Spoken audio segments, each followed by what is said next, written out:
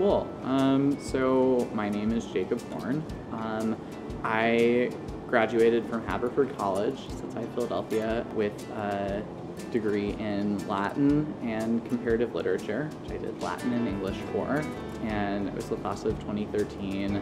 Um, since then, I have been working at the Whitney Museum of American Art in New York um, in the publications department there as the um, editorial assistant, now coordinator, helping to do basically whatever needs to be done with exhibition catalogs, wall labels, invitations for events, different things that get printed on paper basically.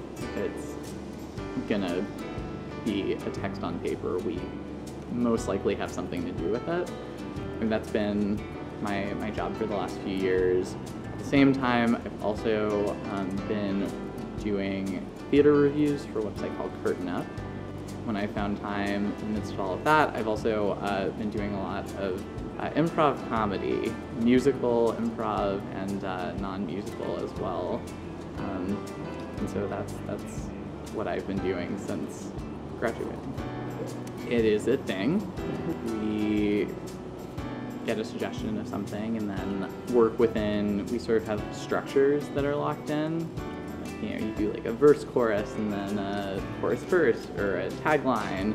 Uh, and so we know that those exist to sort of impose some order on the whole thing, but we have a piano making up the tune, we make up songs as we go.